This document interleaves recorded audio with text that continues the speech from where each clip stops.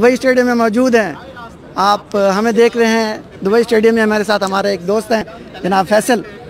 تو ان سے بات کرتے ہیں اور یہ بھی ہمارے میڈیا کے ہی ایک ممبر ہیں۔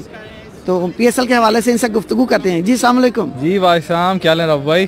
ٹھیک ہے الحمدللہ۔ سنائیے کیسے ہیں؟ کیسا لگ رہا ہے اس دفعہ پی ایس ایل یار جس طرح کل بھی بات ہو رہی تھی بہت زبردست لگ رہا ہے۔ جو انہوں نے ارینجمنٹس کیے ہیں آپ دیکھیں لائٹنگ وغیرہ سے لے کے کیمرہ ساؤنڈ سسٹم لگائے انہوں نے اسکرینس پیچھے دیکھیں۔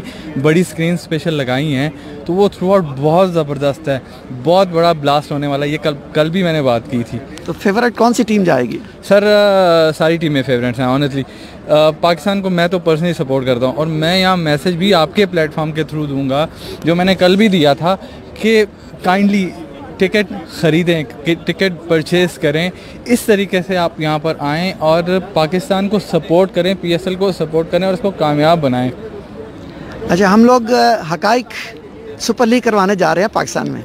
اس کے لیے کوئی میسج بیسٹ آف لک مجھے بتایا تھا، بتایا گیا تھا کہ لیگ ہونے والی ہے۔ میں تو بلکہ ان کو یہ بھی کہہ رہا تھا کہ دبئی میں بھی حقائق لیگ کرائیں، کیونکہ یہاں بھی ہماری جو برادری ہے اسپیشلی خیبر پختونخوا سے جو ہیں، وہ سب لوگ ہیں یہاں پر۔ تو مطلب ہیوی نمبرز میں لوگ آئیں گے یہاں پر وہ اچھی کامیاب ہوگی۔ وہاں تو نو ڈاؤٹ وہ بہت زبردست جائے گی، بہت زبردست۔ کیونکہ کرکٹ آپ کو پتہ ہے ہمارے بلڈ میں ہے، پاکستانیوں کے بلڈ میں ہے۔